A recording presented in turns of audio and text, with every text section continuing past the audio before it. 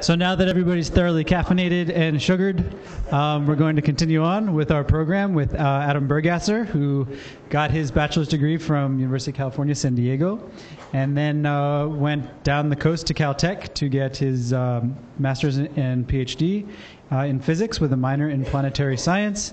Then spent his postdoc years as uh, first a Hubble Fellow, then a Spitzer Fellow, Hubble Fellow at UCLA, and a Spitzer Fellow at uh, American Museum of Natural History. Then he was faculty at MIT for a while and has since uh, come on back home to UCSD. Uh, so without further ado, Adam Burgasser. Thank you very much. Thank you. Wow, wow, if I can get that response just for my introduction, it should be great talk. Um, so, how is everyone's brains? Full yet? Yeah? What? okay, so I'm going to put a little bit more in your brains. We're going to go a little bit off, uh, maybe off on a tangent here, because this is, these are going to be objects. I'm going to talk about brown dwarfs. These are objects that are uh, debatably somewhere between star- planets and stars, and we still argue about where that middle road is. But I'll try to convince you uh, that, in fact, we can consider them both, and we can look at them both, and in many ways, they provide some of our best constraints of looking at the atmospheres of the kind of planets that we're now finding uh, through Kepler, through uh, all these other uh, different um, uh, satellites. Um, I wanted to start, though, a little bit back and take us up into the sky. Uh, this is a free program if you're ever interested in, in, having a nice sort of stellarium that you show in class. It's actually called Stellarium. You can download it offline. It's totally free, uh, and it's very useful. And this is actually what uh, it's what Santa Barbara looking to the west is going to look like in about four hours. All right, and uh, so we've got the setting sun, and we've got these two nice bright uh, little stars here, which turn out not to be stars. They're actually Venus and Mercury. Uh, you can't see Juno up there. And uh, of course, as we, uh, if we start uh, time moving a little bit faster, uh, we'll get the sun setting.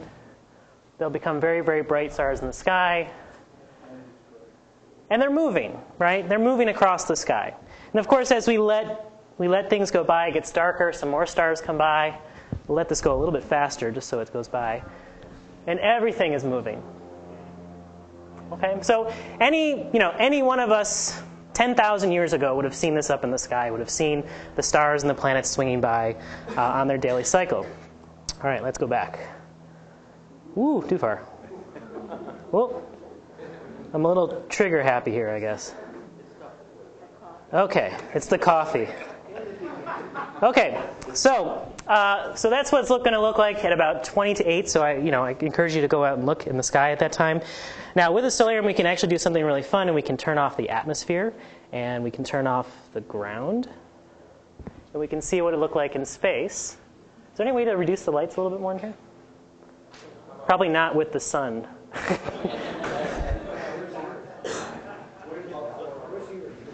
All right, that's actually that's great. That's fine.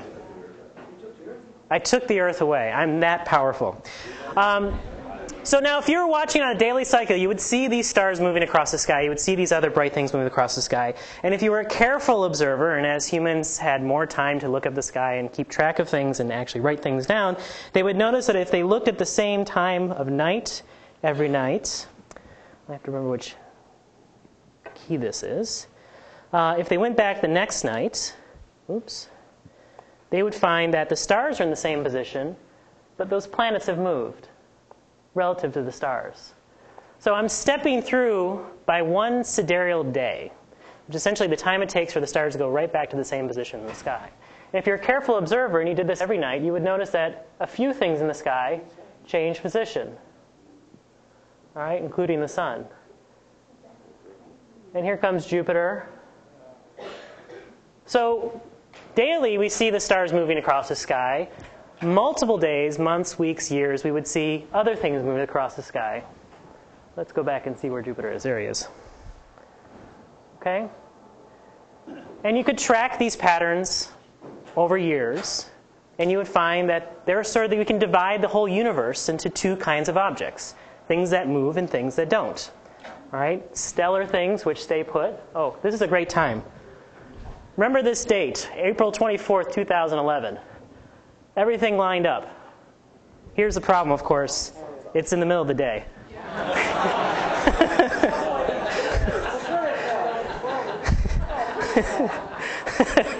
All right, we'll go on with that. All right, so so the the point here is that for for thousands of years, thousands of years, we have been able to divide our universe up into sort of two oh now I can't get to my other thing. We've been able to divide our universe up into sort of two classes of objects: planets, which move across the sky, and stars that don't. And so there's this cultural distinction that we have between these two types of objects. And there's a problem with my presentation. There we go. Okay.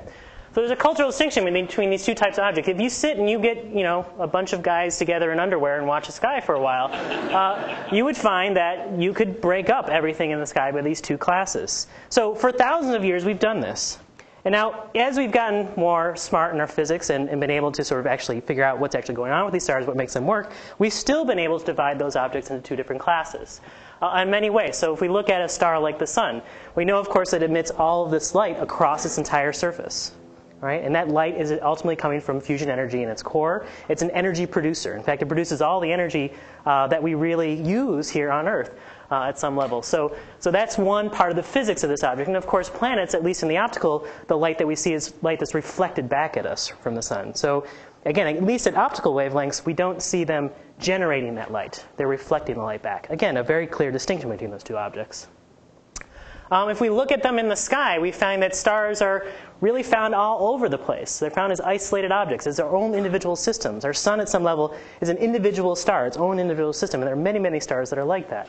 Whereas when we look for planets, and now that we're actually able to detect planets in other, uh, other solar systems, so this is a picture of the HR uh, uh, 8799 system, which was just uh, resolved about a year ago. Right, it's not a plaid star. This is just the artifact of subtracting out the extremely bright light uh, from that star to reveal these very faint planets.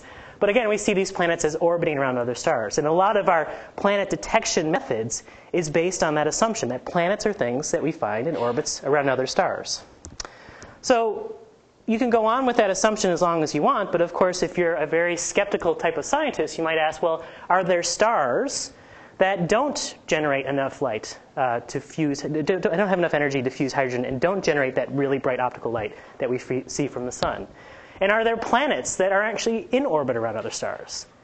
Right? How far can we really push those definitions? And so based on the title of the talk, the answer is of course yes, and they are brown dwarfs, and that's what I'm going to talk about, is these class of objects that really don't fit into these very nice classes of stars and planets that we've had uh, for thousands of years.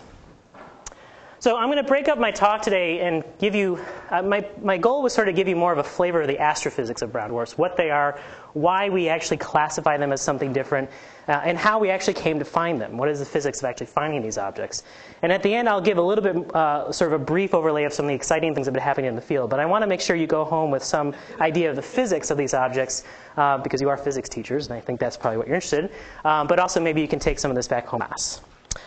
So, um, so the first thing, the first question I ask is, are there stars that don't fuse hydrogen? So we have to go back and actually understand why stars do fuse hydrogen. And the simple answer is that the inside of stars are extremely hot. All right, their sun is about 15 million degrees in its core. And at those extremely high temperatures, the protons and electrons are now stripped apart from each other. They're a plasma. And those protons have enough energy to actually smack together and get close enough together to overcome the Coulomb barrier, the electrostatic repulsion, and actually fuse. And it's that energy of fusion, that energy released from those processes, that gives the star uh, all the energy that we need uh, that come from its surface. All right? Now notice that you know, the core is about 15 million degrees. The surface of the sun is only about 6,000 degrees Kelvin. There's a huge difference between surface uh, and core. Now, how did that difference come about? Well, it's the same physics that goes on when we look at a waterfall and we try to reproduce uh, James Joule's classic, and I should say failed experiment, to measure the difference of the temperature between the top of the waterfall and the bottom. Have, how many of you have assigned this kind of problem in your classroom? Right. How many of you know that this has actually been measured and successfully done? Yeah, I don't think it has either. but I'm willing to try, and I'd like to try at this place because it's a beautiful waterfall. Uh, it just happens to be almost exactly 200 meters tall, and if uh, you believe that uh, the gravitational potential energy released as the water falls down is converted into uh, heat energy at the bottom here, you would expect to measure something like a half a degree difference. Okay? Just based on very simple physics, gravitational potential energy release. Now that's 200 meters. The sun, all right, much, much bigger. 7 times 10 to the 10 centimeters, 7 times 10 to the 8 meters. All right, so that is a much bigger difference in, in gravitational potential from the top to the bottom. And uh, as Deborah mentioned earlier, what we believe in how stars form is they form from the contraction of large gas clouds. And as they contract, they're literally giving up their gravitational potential energy. And they're giving it up to heat. They're giving it up to heat and also radiation from the surface. The heat from the friction of that gas moving together and releasing that gravitational potential energy. And that's enough to heat the core up to the point where it can conduct those fusion reactions. Okay, so so we can get some basic idea of that of the physics of that if we just look at sort of our basic equations for that. We have gm squared over r as our potential energy for uh, gravitational potential, uh, and that's converted again into heat and also radiation. But notice that potential depends on the mass of whatever thing is contracting uh, divided by its effective radius. So if we have something that's more massive, we don't have to squeeze it as much, right? We're releasing just as much potential energy by squeezing it less if we have a lot more mass. And at some level, this explains why we look at stars from very, very low mass to very, very big mass, that there is this sort of size range going through there. The idea is that you don't have to shrink a big, massive star as much to heat that core to start those nuclear reactions. Okay, now this is a very simplistic view, and there's other physics going on in here. But essentially, you can get something that is really big only if you're able to heat it fast enough to start those nuclear reactions in the core. If you have just very, very little mass, like these little M dwarfs down here at the bottom, they have to shrink more and more and more and keep going and keep going until they finally get to that temperature where hydrogen ignition actually occurs. Right? So, so big mass, big size, little mass, little size. And so you could say, well, let's keep going on this end. How much, how low in mass can we go and still shrink things down? Can we shrink a star down to the size of, say, a Cadillac and start fusing in the, in the core? Well, it turns out we can't, although it'd be cool if we could. Uh, much better for laboratory experiments that way. Um, there's a quantum mechanical limit on how much we can actually squeeze the star together to get that, that temperature up to the point where we, have released all that potential energy into uh, heat energy and started nuclear reactions. And that limit is, is based on the Pauli exclusion principle, and essentially is that we can't squeeze, in this case, electrons close enough uh, until they actually are sort of supported. They actually can't put into the same position, same place. Just the same reason you can't put two shirts in the same place, same time, which is always a problem when packing clothes. All right? It's that prevention of overlapping the quantum states of those electrons that sort of halts that contraction. right? And this was uh, thought about in the 1960s, again, looking at the experiment how low of a massive star can we make and how small can we make it, when it was realized we run into this uh, fundamental limit. So this is a plot from one of the earliest plots looking at brown dwarfs. This is a plot from Shiv Kumar, uh, who currently is actually a professor at University of Virginia. Uh, and I'll tell a little bit more about him in a little bit. Um, but this is a plot from his seminal paper in 1963 looking at how a star would collapse as you go in terms of density and temperature. So a star would start as something that's big and puffy, so very low density and very low temperature. This is the core temperature. And as it collapses, it gets more dense and it gets hotter. Again, those, that potential energy is released and heats the core. So a star would follow this trajectory up here. And hopefully it would just keep going to the point where it's able to start hydrogen fusion, and that threshold is about 3 million degrees Kelvin. I mentioned that the sun center is about 15 million degrees Kelvin, so the sun's actually able to fuse not just hydrogen, but also other elements. But the minimum that you need to start fusing hydrogen is about 3 million degrees Kelvin. Now, this other line here is sort of the barrier between when you have a gas that's sort of normal gas and a gas that's degenerate, that's supported by this genetic pressure. You can't squeeze it down any further. And it turns out that as you go to lower and lower masses, again, you have to compress to higher higher densities to get all the energy out. And you run into that limit. And if you run into that limit before you've actually started hydrogen fusion, the star stops contracting. And it's held in place. And you no longer have that potential energy to heat the core any further. So a star that starts like that, in fact, that mass threshold is about 7% of the sun, a star that starts at that very low mass never gets to the point where it fuses hydrogen. It doesn't make it as a star. It's a failed star. It's a very negative connotation, but right. Uh, but that's essentially what happens. And in fact, because it's still radiating its energy away, it's not like it can just wait longer for that potential energy to come by. It's, it's already missed, it's, it's missed the boat. Right? So it's never going to fuse hydrogen. All right, so 1963, that's when the idea came about. uh, that there would be these stars that don't fuse hydrogen because they're very low mass. Now, that has a few consequences. Um, first of all, it has a consequence in how the star evolves over time. So this is another plot showing the effective temperature, which is essentially the surface temperature of, of the star. There's no real surface on the star, but it's essentially where we start to see most of the photons coming from the star. It's the photosphere of the star. It's the temperature at that photosphere. So when I say the sun has a temperature of 6,000 Kelvin, that's the temperature at its photosphere. All right, so this is a plot of temperature versus time uh, for some models of these very low mass stars. In fact, these are models from uh, Adam Burrows up here. Uh, and looking at very low masses. Now, you can't see the numbers, but I'll tell you that this is sort of about a tenth of a solar mass at the very top here, and then going down to lower masses. This is about uh, 5% of a solar mass. Uh, you go all the way down here to about 1% of a solar mass. And you notice a pattern here that the things that are in the blue region uh, sort of come to a point where they equilibrate. They have exactly the same temperature over long periods of time. And that's sort of the normal evolution of a, of a star. It's producing enough energy to make up for the radiation that's releasing from its surface. It's in radiative equilibrium. So it stays at a roughly the same temperature. Now, modulo some of the, the uh, you know, James talked about the, the young faint star. So there is some change in temperature that's very small. But 30% compared to the range here is very, very small difference. Effectively, a star that has enough mass to fuse hydrogen is going to stay at the same temperature for most of its lifetime. But if you don't have enough energy, you're still radiating energy away. You get cooler and cooler over time. So these are stars that not only can't fuse hydrogen, they're stars that change over time. Right? They get cooler and they get, get lower and lower luminosity. And their temperatures are actually get very low. So the scale here, here's 500 Kelvin, 1,000 Kelvin. 500 Kelvin is something I can do in my oven at home. All right? So it's a star that's in my kitchen, just bigger. Okay? How bigger? Well, it turns out that the, that size where the brown dwarf contracts to is about a tenth of a solar radius. That's the minimum size, roughly, uh, that a star can be. All right? And then again, it's supported by degeneracy pressure. Now, this is just a, a, sort of info plot, so you don't have to read all the information here, but I wanted to focus on what the conditions here in the core. Again, in order to get hot, it has to compress more and more and more to the point where it just can't compress anymore because of quantum mechanics. But it gets to pretty high densities, 10 to 1,000 grams per kilogram, or grams per uh, cubic centimeter. Uh, just for comparison, lead is about 11, right? So this is orders of magnitude potentially more dense than lead. Uh, pressures that are 10 to 11 bars, all right? Our atmosphere is 1 bar. Center of Jupiter is about 10 to the 5 bars. Sorry, 10 to the, yeah, 10 to the 5 bars.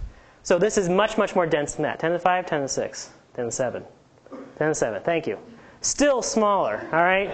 Very, very high pressures, very, very high densities. Exotic states of material can exist in here. In fact, states of material that we don't even understand because we can't do laboratory experiments to actually know what happens to hydrogen at those kind of conditions. Right? It's probably some kind of metallic state. It might be some kind of crystalline state. Right? We don't really know. We don't have laboratory measurements to tell us what happens at those extreme regimes. Right? So very bizarre uh, interiors here, um, but still, it's an object that we can consider as a star. All right, it's just a star with very very high density and changes with time. All right, so that's the basic physics of these objects. Um, I want to talk now a little bit more about how we actually found them in the first place. So a lot of that theory uh, was worked out again starting in the 1960s and through the 70s, and as uh, particularly as atmospheric models got better uh, in the 90s, 80s, and 90s, and, and more recently, uh, we've got a very good theoretical picture of what we think a brown dwarf should look like. But of course, as we heard earlier today, one always has to be careful what the theorists tell us, because uh, it might be that reality is much more different than that. Now, so there's motivation to look for brown dwarfs in that reason because they're sort of an, an odd exotic object. Let's see if we can actually see them. But there was another reason to look for them in the fact that they could be dark matter.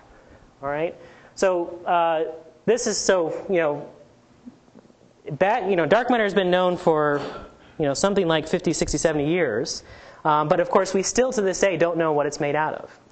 But around the time that you know, people were looking at brown dwarfs as another state of object, another type of star, they realized that, well, look, these things have mass, so they qualify for the matter part, uh, and they get very cold over time. That seems to qualify them for the dark part. And if you get enough of these dark, massive things in the sky, it may be that they're enough there to make up for this dark matter.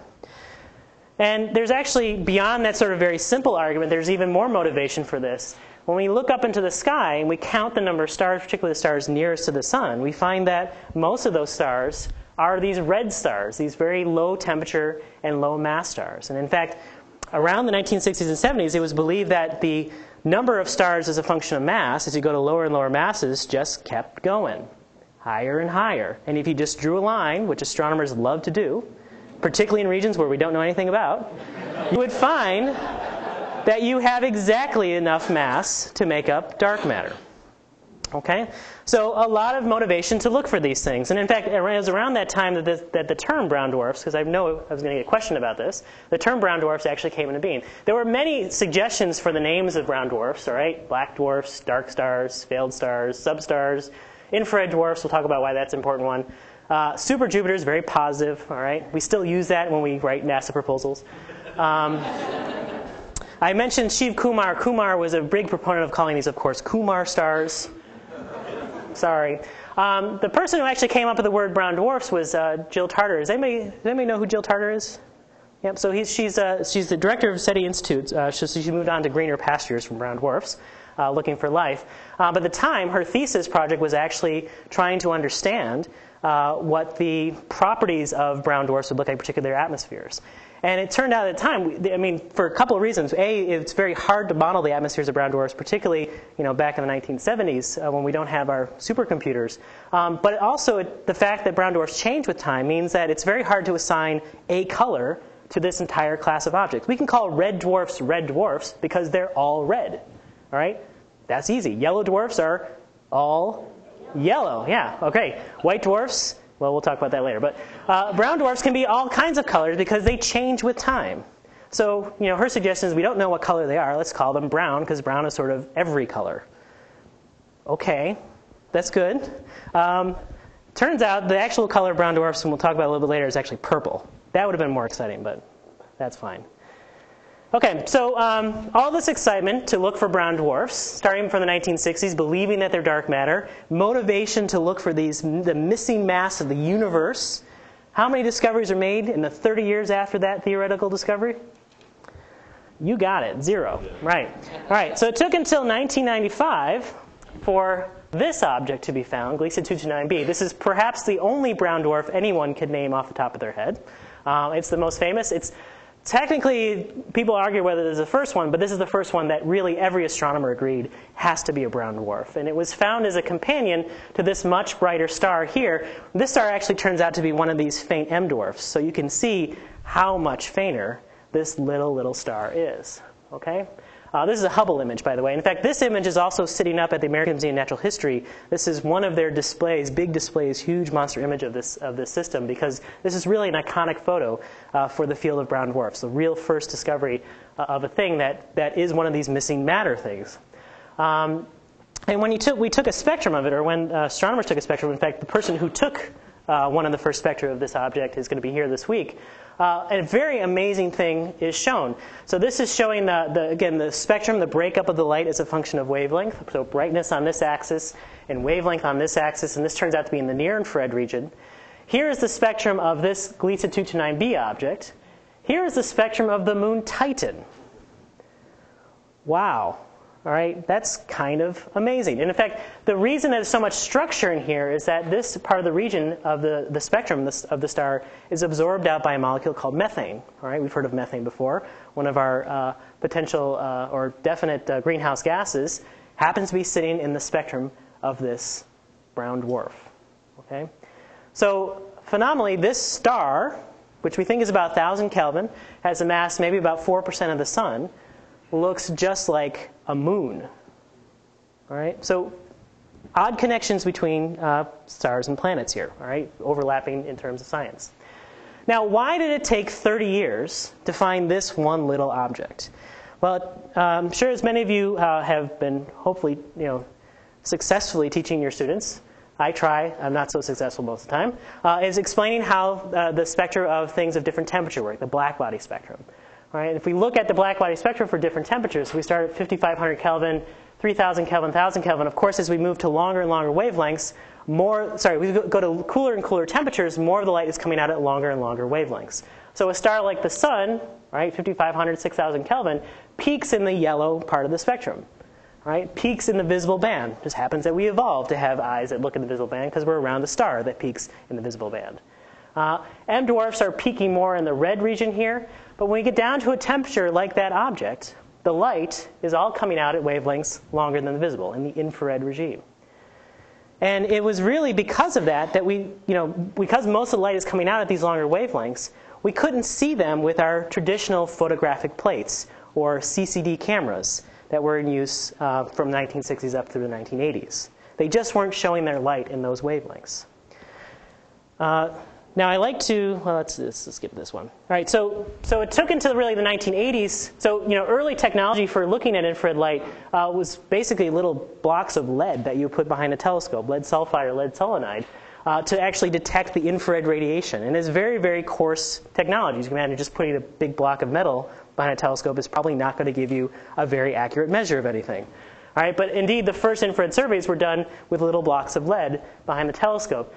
Step up to the 1980s, as uh, better technology come out and different crystals to detect infrared light came about, we actually start having real infrared detectors, real things that look like CCDs, but are sensitive to infrared light.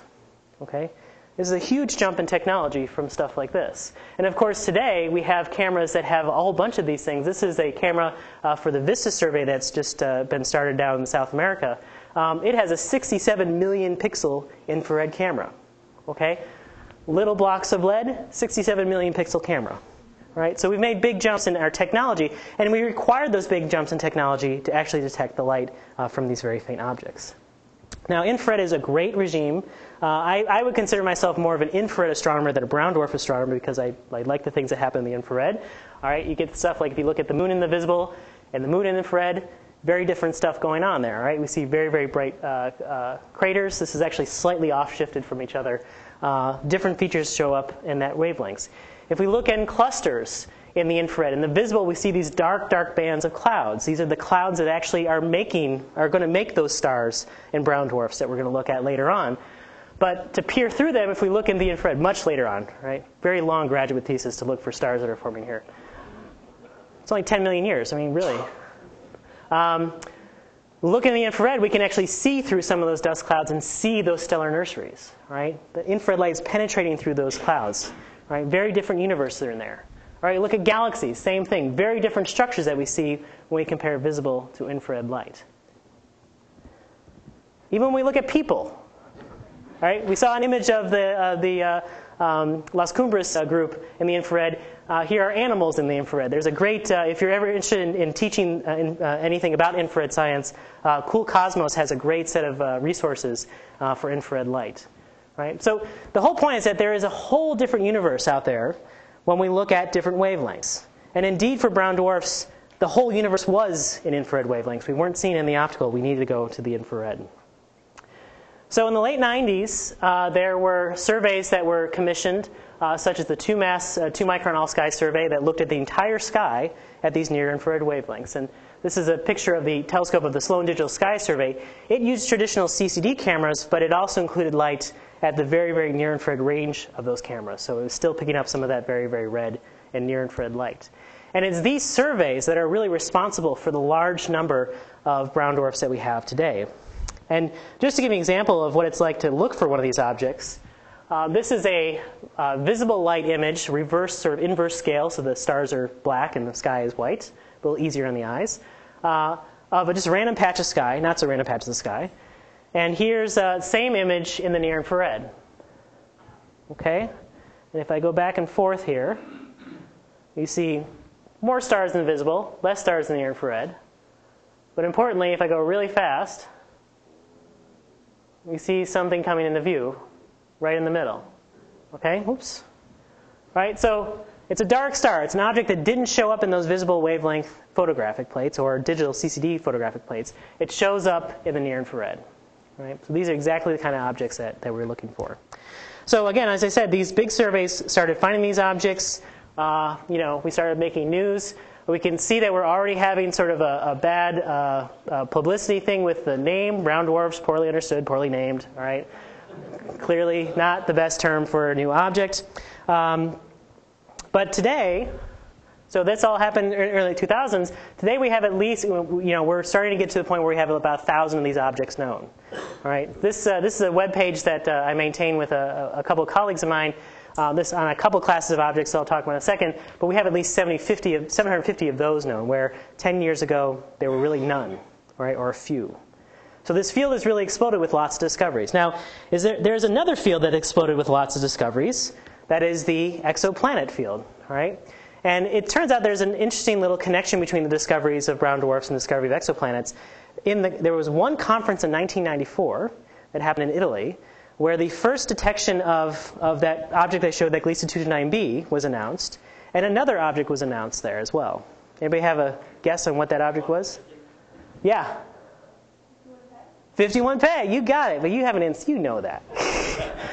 Right? So the same conference was the first detection of an extrasolar planet, was also the first detection of brown dwarf. What a great year that was for our field, right? Um, but both fields have now really exploded. And in part, again, it has to do with, with advances in technology. For the brown dwarfs, it's really been advances in near infrared detecting technology. Uh, and then for planets, as, as Deborah was talking about today, there's a lot of advances in spectroscopic methods. There are advances in, in sort of detection, sort of rapid transit detection, as Alan had talked about earlier. So there's, these are both driven by technology development. Right? The more advanced we get with our detections uh, technology, the more of the sky that we're finding, more of these interesting objects that we're finding.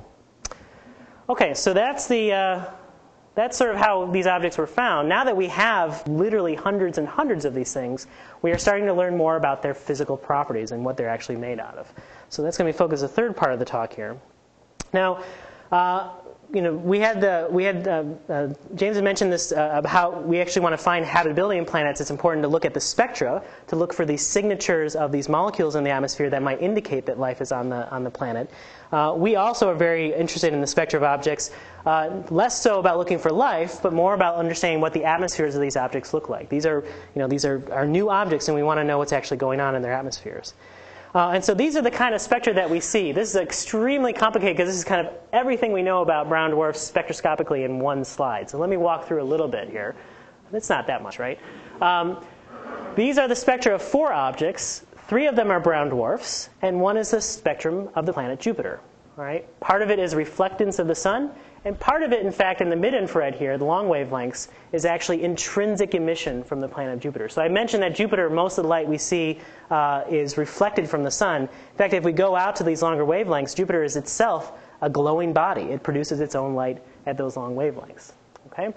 Uh, now, stepping through here, you can see that each of these spectra, which is color coded, has slightly different shapes. Right? The very top one here uh, which, is a, which is an M-type dwarf, which has a temperature of about 3,000 Kelvin at surface, is pretty smooth. It's a pretty smooth curve. You, you might even argue it's kind of close to a black body curve, although it's not quite. There are little divots in here, right? These little features over here in the, the very optical end, uh, little lines in the top, but pretty, pretty smooth overall.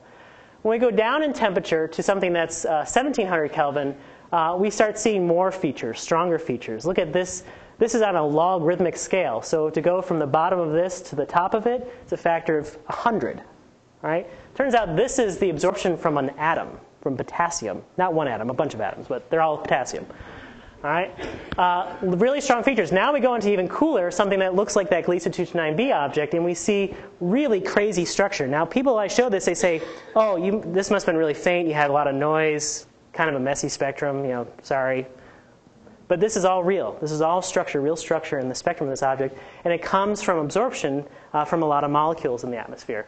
And notice that this spectrum, which is a brown dwarf, again looks a lot like a planet spectrum of Jupiter, right? So crossing over that divide between stars and planets. Now, the, to first order, what we astronomers do with these spectra, uh, we use them as sort of fingerprints to classify these objects. Just like an ornithologist will go out and find lots of different birds and classify those groups of birds. Because that's sort of your first step as a, to, you know, to make a ruler, to measure and compare things together, you actually need to group them together so you can make those comparisons. To understand the physics of the objects, you have to sort of set your scale. So astronomers do have a ruler, and that's the spectral classification system.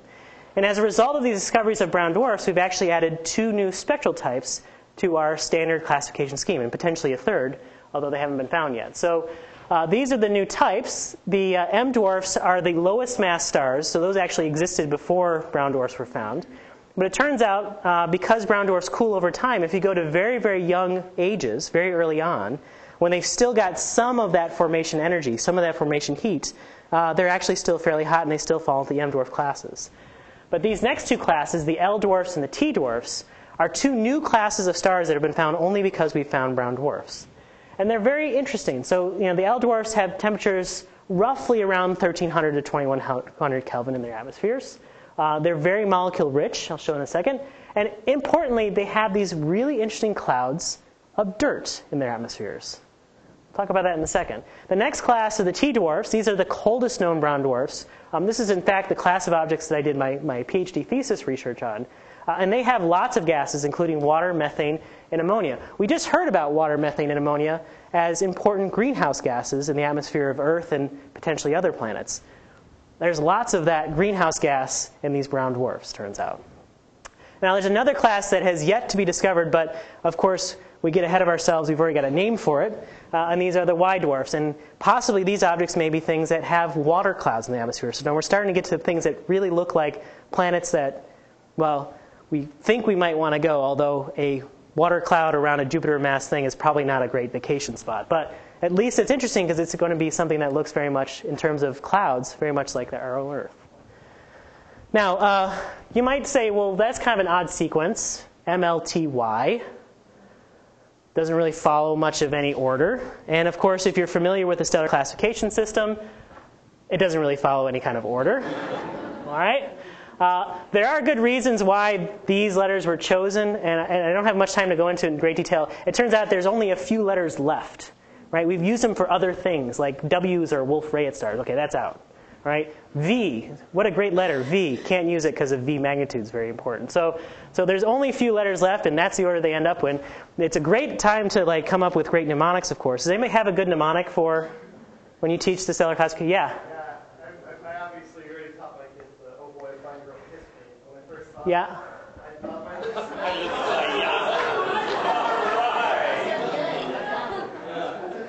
They may have any other ones? So I think about this a lot. I don't know why. All right, here's a recent one. Obama's bailout, of federal government killer. Much luck to you.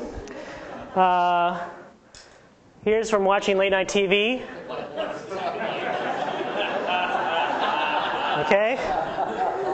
So, so I like I've been collecting these because I give you know whenever I teach a class on on stars or or you know the universe or astronomy or something like that, I always do this as an assignment that they have to come up with a new mnemonic, and I get some great ones. Some of which I can't share in public, but uh, I get some really great ones. Okay, so so those are the three new classes of stars. What do they actually mean physically? Well, let's go back to this plot that shows the temperature of a star over time. All right, all these funny lines that go across here for different masses. And we define these types roughly, you know, these types are based on the spectrum of the star, and the spectrum is determined by the chemicals that are present in the star. And those chemicals are determined in part, in large part, by the temperature of the star. Also the pressure, but the temperature is a big, big uh, factor in it. And so if we put down really simply the areas and temperature where these three objects lie, notice something interesting. If I follow a line that goes through kind of the middle of this plot, it starts off at, well, let's say about 100 million years as something that looks like an M dwarf. And as I wait and wait and wait and wait till about, uh, let's say, 300, 400 million years, it starts to look like an L dwarf. And if I keep waiting only a couple billion years, not long, it might look like something like a T dwarf. And if I keep waiting like that, it's going to turn out to be something that looks like a Y dwarf. So this sequence of spectra, um, in some level, trace the evolution of one of these brown dwarfs with time. Now, this has a very interesting historical precedent because the original motivation for the stellar classification scheme, before we understood that it was nuclear fusion that was powering these stars, was that you start out as an O star, very hot, and you just cool with time. So the G, our G dwarf, an average age star, just happens to be in the average part of its lifespan, and eventually it's going to cool down to something like an M dwarf. Okay? Sounds like it makes a lot of logical sense. Of course, we know now it's not a single star cooling the time, it's determined by mass. But now, thank you, is that a zero or a two? Okay, thank you. Um, so, so we know now that that's not the sequence an evolution of a star makes, but that's the origin of our terms early type and late type. Right? Late type stars are cool stars because very early on, it was the late stages of evolution. But with brown dwarfs, that works out. We can actually talk about M dwarfs cooling to L dwarfs cooling to T dwarfs. Okay, so we've somehow come all the way back to the 1890s somehow, um, which is great. 1890s were pretty cool. Okay, so, so that's sort of where those spectral types fit on the evolution of a, of a brown dwarf. And it's not like I can say an L dwarf I know has a mass of this. It might be more massive and older, or it might be less massive and younger. They're mixed up. But the spectral types do trace the evolution of a particular brown dwarf. All right, so going back to these spectra, I mentioned these various chemicals in here, and here's just a laundry list of all the chemicals that are in uh, the, the, gas molecules that we see uh, in the atmospheres of the objects, and sort of in a funny Venn diagram. But you can see there's lots of them here. Right? We've got metal hydrides, like aluminum hydride, magnesium hydride, calcium hydride. Um, we, when we get to cooler temperatures, we get all those chemicals that form hydride. Uh, sorry, those are ox. Sorry, hydrides. Yes, anhydrides over here, iron hydride, chromium hydride, lots of really cool chemicals in these spectra. But of course, in the T dwarfs, again, we have some of the most interesting molecules ammonia, methane, and water. Right? Those same molecules that we're looking for uh, in these planets. And how do we know in detail that we find these here? Well, this is a spectra in the mid infrared range, so 6 to 14 microns, way beyond what we can see with our eyes. Uh, and this is from the Spitzer Space Telescope. And again, you see this sort of funny structure in here in these spectra. Well, again, those are all due to different molecules. So we've got water coming in here, we've got methane here, and the, our most recent discovery molecule is ammonia gas in the spectrum of a brown dwarf. Right? Ammonia gas in a star. That's pretty cool. Now, I mentioned that some objects, some of these L dwarfs, also have clouds, and it's because the reason that these molecules are in these atmospheres is because they've cooled to the point where you know, the chemical equilibrium allows their formation. If it was any hotter, they would break up into their constituent parts. But it's now cooled to the point where you can have a stable molecule. Well, you can also have cool enough temperatures to form solid materials as well. Right? So here, based on the uh, chemical equilibrium models that have been done for brown dwarfs, here are some of the kind of chemicals that we would expect in L-type dwarfs. And they're kind of interesting substances, right? Aluminum oxide, enstatite, right? These things I can pick up off the ground are floating around in the atmospheres of these objects, right? Here's my favorite, molten iron. What a terrible rainstorm that would be, right? But they're there. And how do we know we're there? We can actually detect it. Again, with the Spitzer Space Telescope. These are spectra of some L dwarfs. In this little region in here, we see a very faint absorption feature. And that absorption feature, we believe, is due to silicates in the atmosphere, hard particles. They're actually present in the atmosphere. And those hard particles, just like the hard particles of water in our atmosphere, probably form uh, clouds. And we actually do see evidence of that as well. If we watch a given star over a few hours, a given brown dwarf a few hours, we notice occasionally a variation in the light. You got it? Okay. we notice a variation in the light. Uh, and that variation even changes with time. Sometimes we see a very strong variation, but a few days later with the same source, it might be very flat. And what we believe we're seeing is that it's something like a cloudy object, like something like Jupiter, for example, that is rotating. And if it's got any features, those features are rotating in and out of view. So it's like seeing a really bright spot come in and disappear. Might explain this variation. And of course, the fact that it goes away suggests that those clouds themselves are changing over time and changing fairly rapidly. okay? So, so there are all these, these features of brown dwarfs that look just like planets. They've got the same molecules, right? Methane, water, and ammonia, and they've got clouds. And so, you know, we're talking about looking at the meteorology of stars. Well, how are brown dwarfs more like stars? Well, there's a few things. For example, we see brown dwarfs are magnetically active. This is some radio data that was taken recently that shows that uh, the radio emissions from brown dwarfs are sometimes seen, and they're seen to be fairly regular. We don't see this kind of emission in anything but a pulsar. Right? Pulsar is a completely different object than a brown dwarf and a planet. Right? Pulsar is an extremely condensed neutron star that's formed after a very large, massive star has exploded, essentially. And yet, somehow, this little, tiny, little faint guy has very similar radio emission. And it's a signature that it has magnetic fields, and also, in particular, it may have a very strong magnetic pole, uh, which is coming again in and out of view, spinning in and out of view uh, through its rotation. right? So that's, that's more of a stellar-like feature. Another stellar-like feature is when we look at the galactic orbits of some of these objects, right? Uh, we can now, because again, because technology is caught up, we are able to measure the positions of these objects very accurately and also their velocities, right? So velocities across the sky and velocities toward and away from us. Same Doppler method that uh, Deborah is using for her work. And by combining all those things, we can make a prediction of what the orbit of these individual objects are. So recently we've done this, and, and this is a plot of two of those orbits. This white circle is what the sun is doing around the galaxy.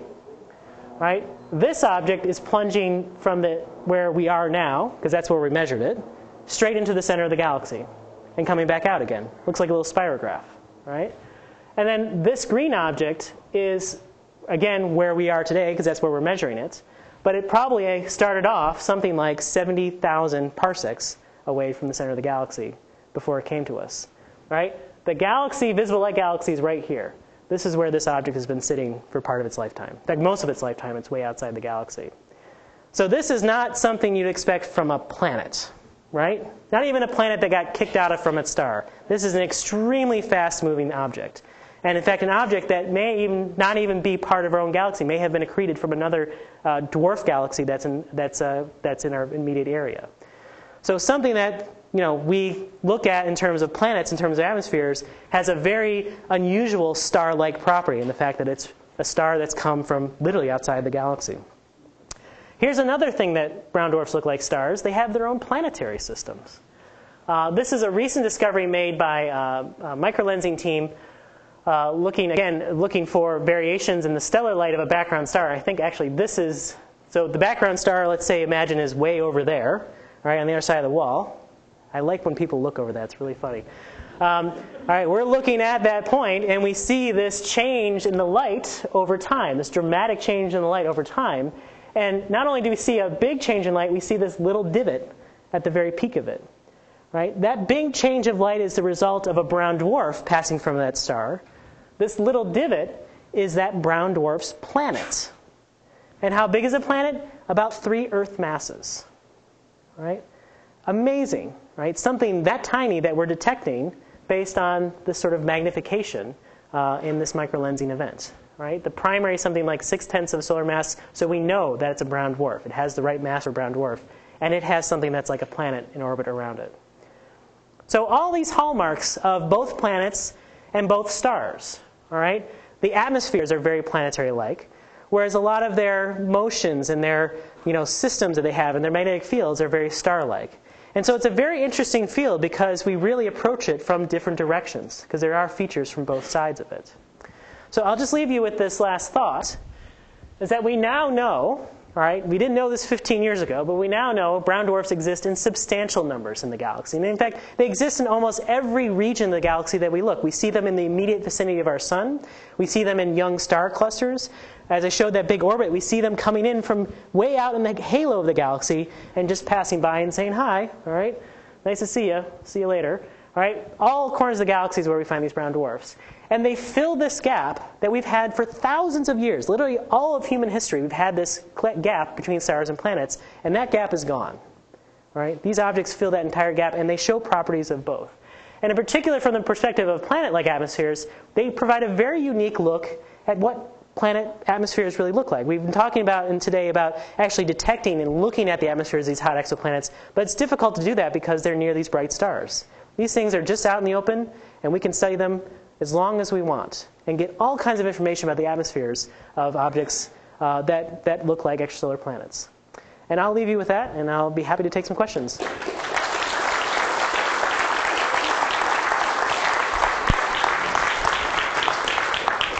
All right, questions. It's the first hand I saw. Is there any estimate on the, the percentage of mass, uh, of the missing mass that brown dwarfs might represent? Ah, so um, excellent question. Uh, the question was uh, what, what missing mass does brown dwarfs actually make up?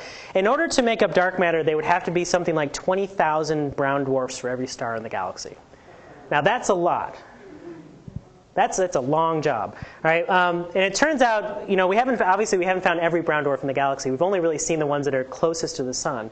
But by measuring the number of those objects and correcting for you know the fact that we're probably missing some that are fainter and stuff like that, there's probably as many brown dwarfs as there are stars in the galaxy, roughly, order of magnitude. Um, and that doesn't make up for dark matter at all. I mean, it's, it's only something like 15% of the stellar mass is probably brown dwarfs. So they're definitely not dark matter. They're not even close.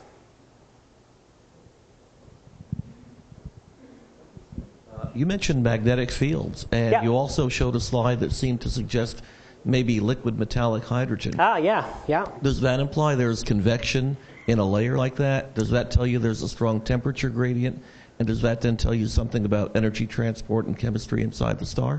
So one thing we, we, at least from the theoretical modeling we know, is that the interiors of brown dwarfs are, are probably fully convective, which is actually very interesting because um, one of the tests, for example, for finding a brown dwarf is looking for an element called lithium. Uh, and lithium is destroyed in the same nuclear reactions that, that change hydrogen into helium. So the fact that lithium, all the lithium in an object passes through the core at some point. If you have an object that is fusing hydrogen, we find that there's no lithium in the atmosphere. It's completely gone, totally burned away. Whereas if we do find lithium in the atmosphere, that means it's never, all that lithium has passed successfully through the core without being destroyed. So that's one of our tests of brown dwarfs is look for this lithium ion. So the first answer to question is yes, they're fully convective, and we have plenty of evidence to show that that's the case. Now, uh, what that has to do with the generation of magnetic fields, we have no doubt that these objects have magnetic fields.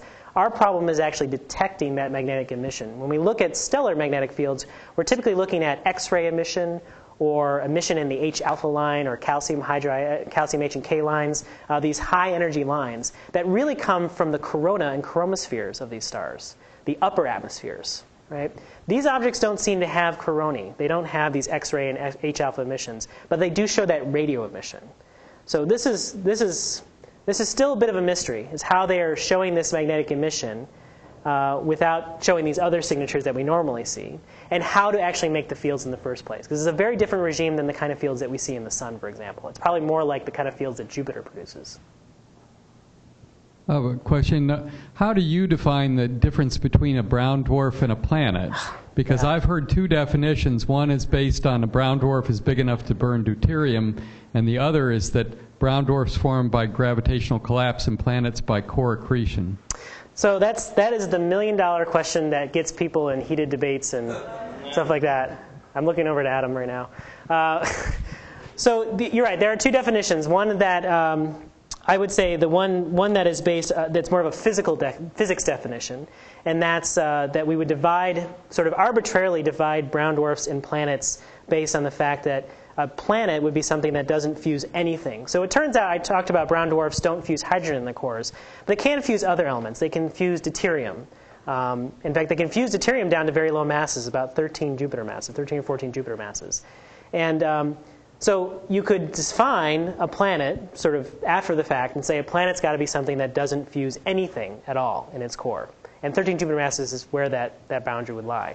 And that's great because that means that all the planets in our solar system qualify as planets, which you kind of want. Because culturally, again, we have this definition between planets and stars that we've had with us for thousands of years. We run into trouble, though, is that we see, we frequently see, another re- re- way we think about planets is whether they formed around stars, is the secondary formation, secondary formation outputs of, of star formation, that they form in these disks that we talked about today. Um, and that doesn't necessarily have anything to do with the final mass of the object. And today we see systems that have very massive planets around them. Planets are even very close uh, orbits around them that are more massive than 13 Jupiter masses. So are those brown dwarf star systems or are they planet star systems and how that form? We also see free floating objects that we believe are three or five Jupiter masses that fall below that, that mass criteria, but they're off by themselves. So did they get kicked out of their planetary system or did they just form that way? So it's very difficult. So you asked what my, what, where I stand on the fence. I stand on the formation scenario, which is a very dangerous one because we don't actually see the formation. Um, I kind of know a brown dwarf when I see it. Let's put it that way, right? When I meet a brown dwarf, I know it is. Um, but I think the complication is that we are in this realm where, you know, it was very easy before we found brown dwarfs. Stars and planets were totally different things. We didn't have to worry about it. And it's very clear that we're in a regime now where there is a continuum. And that continuum may overlap in ways that we don't quite understand. Um, and I think it, from a physicist, that's very interesting. From someone who wants to classify things into great boxes, very challenging. Yeah. Great question, though. Oh, okay.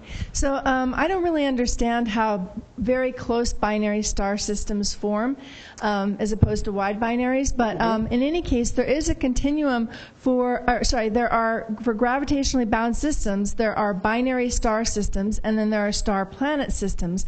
But there really are not star brown dwarf systems. And maybe you were touching on that when I was thinking about my question. But why, why don't the brown dwarfs uh, form in those bound systems. Yeah, so, so Deborah's referring to this thing uh, that maybe some of you have heard of, of, the sort of brown dwarf desert. Is that term that, that has been heard before? All right, so what, when we look at, you know, when, when the planet hunters look for planets, it, this radial velocity technique that Deborah's been using should be able to find brown dwarfs really easy because brown dwarfs are massive and so they should really yank that star around very hard, right? So that should be easy to find. And it turns out that there are not a lot of them in close orbits around stars. There, there are a lot of binary star systems, all right, that are very closely separated, and there, we're now finding many, many star planet systems very closely separated. But there seems to be a gap in mass, where if you got a number of planets, and then very few brown dwarfs, and then lots of stars. So the question is, why is that? And I think people still debate that. There's an argument. There's a question of whether uh, that uh, you know one of the reasons, one of the arguments for how you get a planet, a Jupiter mass planet, into close to the star is that there's some kind of migration process. That it might start out more like 5 AU where Jupiter is, but for some reason it migrates in towards a star. And it may be that that migration process preferentially moves brown dwarfs right into the star, right? Throws it right into the star and incorporates it. Um, I actually don't know the status of what that what the theory is explaining that. That's the last sort of I understood about it. I don't know if there's a real explanation for it at this point. The problem then is binary stars, right? The close Yeah. binary stars. Yeah. Well, the binary stars formed out of their own separate collapse. Uh, then, uh, you know, one thing we see about very close binary stars is they tend to be equal mass, right? So they're, they're preferentially seen to be about the same mass as opposed to a big massive star and a little mass star. Right? We see this in, in young systems. We see this in old systems, particularly in high mass systems. So it may be that when you get two very close things that collapse out of the same cloud, that the mass is sort of shared between them, right? One doesn't get everything. They kind of split it evenly. Right? There's a competitive accretion process between those. So it would be hard to form a brown dwarf in that kind of scenario because, you know, it would just be more mass would be falling to the brown dwarf and it would just become a star.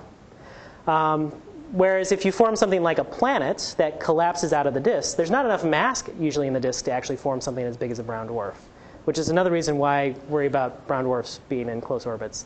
So it may be that that's just a different formation process, and you're seeing two different formation processes play them out, play themselves out with nothing in the middle. So right here in front. No, I, No more. In the back. Could you give me a very quick status report on the um, Adam Burgasser Endowed Chair of Physics? Someone plant that? uh, well, actually, the recipient of the Adam Burgasser Endowed Chair of Physics is probably going to have to give that up because he's about to get tenure. It's an inside, it's an inside joke, so sorry. Any more questions?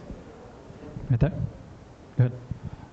Um, I'm hoping the answer to this is you don't know, because that will mean I won't didn't miss something. But okay.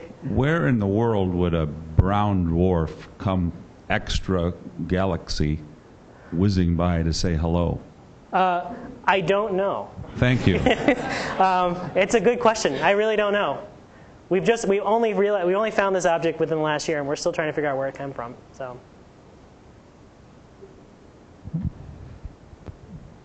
Uh, I'm a little fuzzy on the brown dwarf formation process. Uh-huh.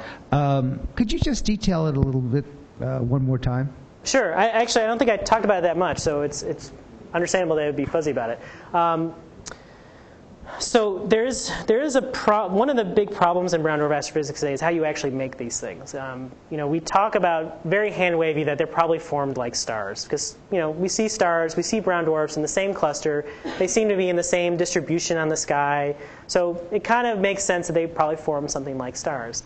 It actually turns out to be very hard to make something as low mass as a brown dwarf. When the, when that cloud of gas is collapsing down, uh, gravity is pushing in, right, collapsing things down, but there's also thermal pressure in the gas that's trying to push out.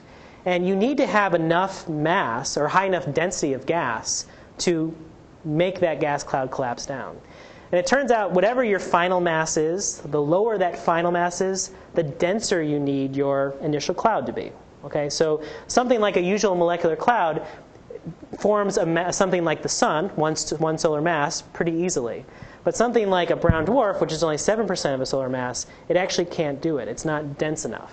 So you need to get much, much denser clumps to make those things. Now, the problem is if you have a dense clump, there's lots of gas around, so you make, make a brown dwarf, but then it just grabs more gas around it, right? Kind of like we were talking about with the accretion in a binary system. Yep. Uh, well, so the deuterium is a different question. That's happening inside the core. Um, it, I have to remember what my, my reactions are. It's probably going to form lithium if it's combining with hydrogen. So, yeah. Um, so, but let me let me follow up on the formation thing. So, so we actually have a problem in how to form brown dwarfs, and there's a lot of sort of simulations that are going on to try to actually make brown dwarfs. And it turns out it looks like what's very important is that that things don't form from gas balls to one star.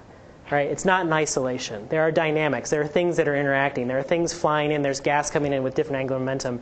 And it's that dynamic process that may allow a very dense pocket of gas to form, make a brown dwarf, and then stop accreting. And that's still an open question how, to, how that works. There's many, many theories actually on how to, how to make brown dwarfs. Yes? Uh, is there any data to support that the uh, migrating brown dwarfs merge together and then can start burning hydrogen because they accumulate enough mass? Ah, so if you have two brown dwarfs that kind of combine? Two, yeah, combine, and it becomes a regular star. Is there any evidence for that? So there's no, there's really no direct evidence of that happening. Um, I, I, would suspect that that's a very rare occurrence. We very, I, don't, I can't even um, think off the top of my head of any evidence of two stars combining to, to make another one star, or, that being caught in the process. And I may be wrong. I don't know if anyone else has, has heard of that, but um, so so so we don't have any evidence of that happening. However, that is certainly a possibility. And there was this great paper by uh, Fred Adams back in 2002 where he looked at what the universe would look like, what our galaxy would look like, you know, 100 billion years from now when all of the stars that we see today have burned out, have exceeded their, their main sequence lifetimes. And what you would end up with are black holes, neutron stars, white dwarfs, and brown dwarfs because they don't die, because they're not burning anything, right? And, and one of his arguments in that paper was that, you know, after gazillions and gazillions of years, uh, the only way to make a star, because all the gases are dissipated, is through the collision of brown dwarfs. And you could do that frequently enough where you'd have something like 50 stars in the galaxy at any one time. And they're just formed from brown dwarf collisions. So, so, but that's very theoretical, and it's not something we've seen. Yeah. All right, so I think that's the end of the question section. We have just about run out of time, so let's thank Adam again. Thank you.